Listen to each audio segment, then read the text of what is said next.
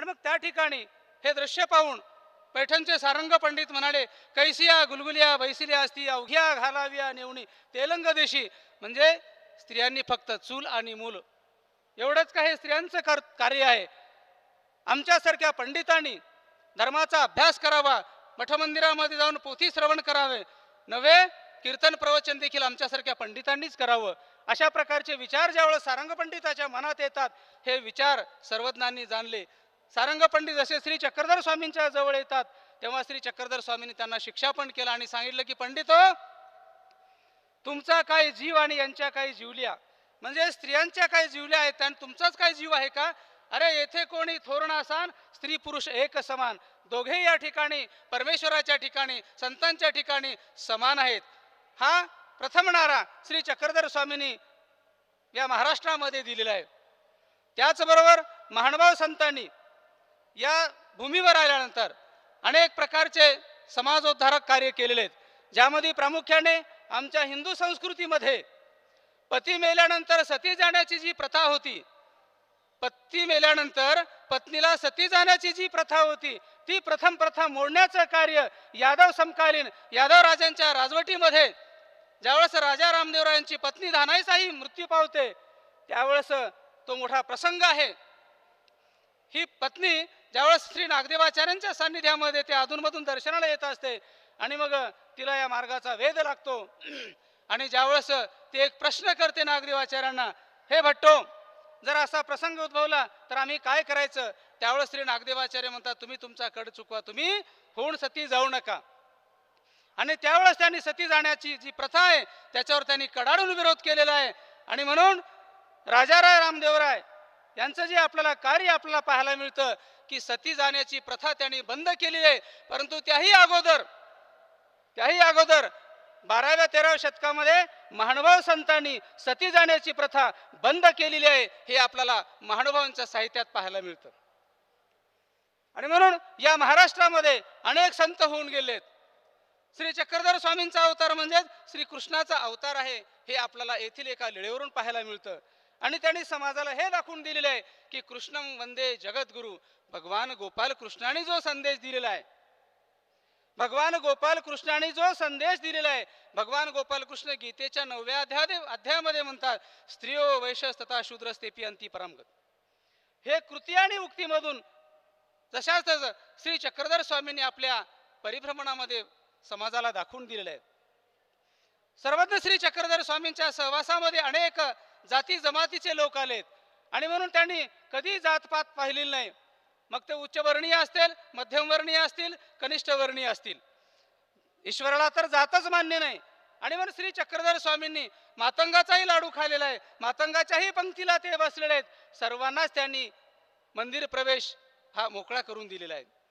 आणि म्हणून साडेसातशे वर्षापूर्वीचा जर काळ पाहिला तर हा संपूर्ण समाज कर्मकांडामध्ये गुंतलेला होता. आणि सरळ साधी सोपी ईश्वर भक्ती ही कठीण होऊन बसली होती. आणि ती ईश्वर भक्ती कठीण झालेली संस्कृतमध्ये त्याचं अं, आचरण मार्गदर्शन असणारं श्री चक्रधर स्वामींनी मराठीमधून साध्या सोप्या भाषेमध्ये सांगितलं. जेच ज्ञानेश्वर माऊलीने जेच ज्ञानेश्वर माऊलीने ज्ञानेश्वरीच्या माध्यमातून समाजाला मराठीमधून हे समाजाचे तत्वज्ञान आहे ईश्वरीय तत्वज्ञान आहे मोक्षाचं तत्वज्ञान आहे हे त्यांना दिलेलं आहे. आणि म्हणून या ठिकाणी संत विचार पाहू जाता. संतांचे जे थोर विचार आहे आपण या समान करीती सकळ. आपल्या सारखं इतरांना करण्याचं सामर्थ्य हे संतामध्ये आहे. संतांचं जे कार्य आहे त्याचं वर्णन करताना म्हणतात की पारस पारसाची उपमा त्याला दिल्या जाते की पारसामधलं जे अंतर आहे हे किती अंतर आहे? एका कागदामध्ये पारस गुंडाळलेलं आहे. आणि तो जर कागदामधून जर नाही काढला तर तो लोखंडाला जरी लावला तरी त्याचं सोनं होत नाही. आणि म्हणून या जीवावर जे काही मळकर्म आलेत या जीवामध्ये जे काही अज्ञानत्व आहे या जीवाला जे काही अन्यथा ज्ञान आहे हे अन्यथा ज्ञानाचं आवरण जोपर्यंत या जीवापासून दूर जात नाही तोपर्यंत त्या जीवाचा देखील उद्धार होत नाही हे संतांचे विचार आम्हाला या ठिकाणी पाहायला मिळतात. श्री चक्रधर स्वामींचं जे विशाल असं तत्वज्ञान आहे लीळाचरित्राच्या माध्यमातून आपल्याला ते पाहायला मिळतं. लीळाचरित्राच्या माध्यमातून ते आपल्याला पाहायला मिळतं की श्री चक्रधर स्वामींनी सांगितले.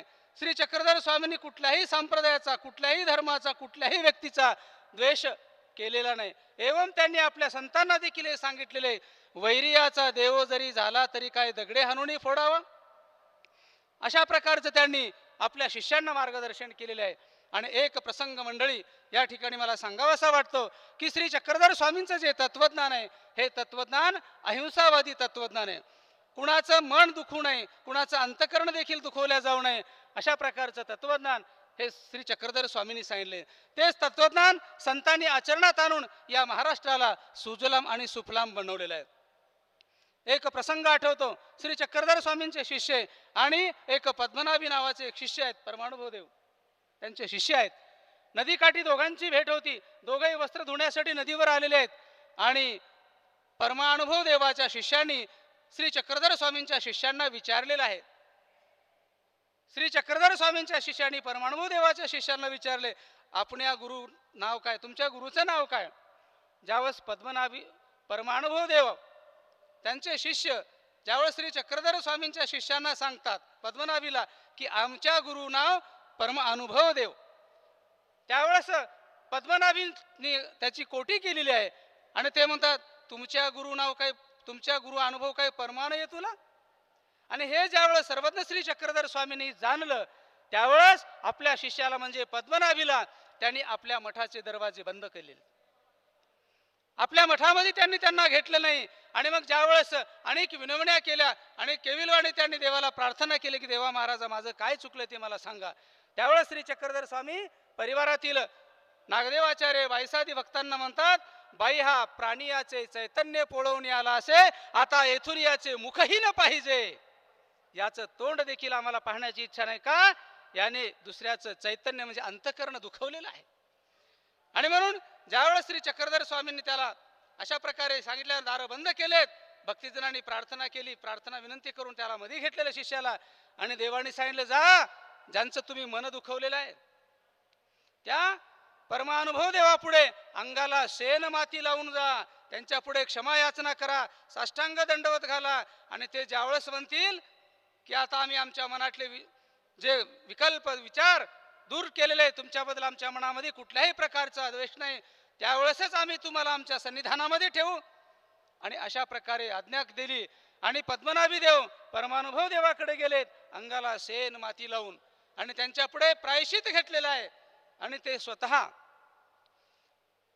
परमानुभव देव स्वतः त्यांना घेऊन श्री चक्रधर स्वामींच्या सानिध्यानामध्ये येतात. आणि त्यांना म्हणतात जीजी आता हा आमचा शिष्य म्हणून तुम्ही सांभाळा. तेव्हा श्री चक्रधर स्वामींनी त्यांना आपल्या सहवासामध्ये ठेवलंय. सांगायचं तात्पर्य श्री चक्रधर स्वामींचं जे तत्वज्ञान आहे श्री चक्रधर स्वामींची जी शिकवण आहे ही शिकवण कशी आहे? कुणाचंही मन दुखवू नये. कुणाचंही अंतकरण दुखू नये. कारण अंतकरण दुखुल्या पाप होते आणि पापामुळे नरक होतात. ही मानव संप्रदायाची शिकवण आहे. ही मानव संतांची शिकवण आहे.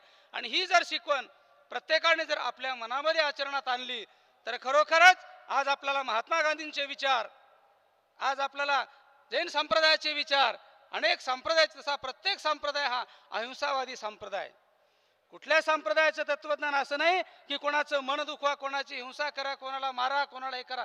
तर हे अहिंसावादी जे तत्वज्ञान आहे हेच तत्वज्ञान श्री चक्रधर स्वामींनी साडेसातशे वर्षापूर्वी सांगितलेलं आहे. आणि म्हणून श्री चक्रधर स्वामी हे श्री कृष्णाचे अवतार आहेत. हे नांदेडमधील एका घटनेवरून आपल्याला पाहायला मिळतं. नांदेड या ठिकाणी श्री चक्रधर स्वामींचा अनेक दिवस वास्तव्य झालेला आहे. आणि या वास्तव्याच्या काळामध्ये या ठिकाणी श्री चक्रधर स्वामीने एका ब्राह्मणाच्या गायी राखल्या आहेत. ते तीर्थक्षेत्र देखील गोदावरीच्या जुन्या पुलाच्या पूर्वेला नदीच्या उत्तर काठाला लागून आहे. श्री चक्रधर स्वामींची भ्रमंती चालू असताना नांदेड या ठिकाणी आले. आल्यानंतर त्यांचं कार्य काय होतं? हातामध्ये भिक्षा मागायची मिळालं ते खायचं आणि जीवांचा उद्धार करायचा. तर अशा प्रकारचं ते कार्य चालू असताना एका ब्राह्मणाच्या घरी ते भिक्षेला गेले आणि ब्राह्मणाने भिक्षेला आल्यानंतर पाहिलं श्री चक्रधर स्वामी तर पंचवीस सत्तावीस वर्षाचे असे तरुण गांड दिसत आहेत आणि मग तो कुचेष्टने म्हणाला चांगले तरुण दिसता ताकदवान दिसता भीक मागून खाण्यापेक्षा काम का करत नाही? श्री चक्रधर स्वामी म्हणाले अहो आम्हाला कामच कोणी देत नाही. एवढ्या नांदेडसारख्या शहरात कोण आहे आमच्या ओळखीचं? तो म्हणाला मी काम देतो तुम्ही काम करा. काय काम? म्हणे आमच्या गाई राखा. देव म्हणाले ठीक आहे. मग ठरली नोकरी ठरली. सकाळी गाई सोडायच्या दिवस रानात नेऊन चारायच्या. संध्याकाळी आणायच्या बांधायच्या दूध काढायच्या जे असेल ते भाकरी तुम्हाला देऊ आम्ही तुम्ही खायचं आम्ही खायचा. मग देव म्हणाले हे तुमचं झालं पण आमची काय अटी येतात कारण आजकाल गडी बांधा कामावर राहतात त्यांच्या बी काय अटी असतात. देव म्हणाले आम्ही गायी सोडू पण बांधणार नाही. शब्दाकडे लक्ष द्या मंडळी. देव म्हणाले आम्ही गायी सोडू पण बांधणार नाही. गायी चारून आणू पण दोहणार नाही म्हणजे दूध काढणार नाही. याच्या पाठीमागचा सिद्धांत आहे. जेव्हा परमेश्वर या सृष्टीची निर्मिती करतात या जगामध्ये अवतार घेतात त्यावेळेस ते जीवाचं शोषण करण्यासाठी येत नाहीत ते जीवाचं मनुष्याचं पोषण करण्यासाठी येत असतात. आणि म्हणून त्यांनी ठरवलं गाईचं दूध हे गाईच्या वास्त्रासाठी आहे. तिचं दूध आम्ही काढायचं तिच्या वास्त्राचं दूध आम्ही घ्यायचं आम्ही त्याच्यावर मजा करायची. हे भगवंताला काही अर्थ खरा मान्य नाही. आणि म्हणून ते श्री चक्रधर स्वामींनी सांगितलं आम्ही गाई वळू बांधणार नाही. गाई चारू पण तो होणार नाही. आणि मग ते मान्य केलं. तर अशा प्रकारे या ठिकाणी मग पाहिलं ते गुराखी म्हणाले हा गाई एका ठिकाणी बसवतो खडकावर गाई बसवतो चारत नाही नुसता झाडाखाली बसतो. मालकाला वाटलं ब्राह्मणाला काय प्रकारे बघूया. आणि मग तो ज्या दिवशी एक दिवशी तो बघायला गेला की खरंच गुराखी सांगतात ते खरं का आपल्या गाई तर डबल दूध देत आहेत डबल दूध दूध तूप निघत आहे. प्रकार काय? निश्चित काहीतरी असलं पाहिजे. आणि मग तो गेला दुरून बघितलं त्याने तर एका झाडाखाली देव बसलेले आहेत आणि त्याला त्या ब्राह्मणाला त्या ठिकाणी साक्षात द्वापारीचे श्री कृष्ण असल्याचा जो ते दृश्य ते स्वरूप त्या ब्राह्मणाला दिसलेलं आहे. आणि म्हणून महाराष्ट्रामध्ये श्री चक्रधर स्वामींचं भ्रमण झालेलं आहे. ते श्री चक्रधर रूपामध्ये आपलं श्री कृष्ण रूपामध्ये आणि म्हणून नांदेड या ठिकाणी त्यांनी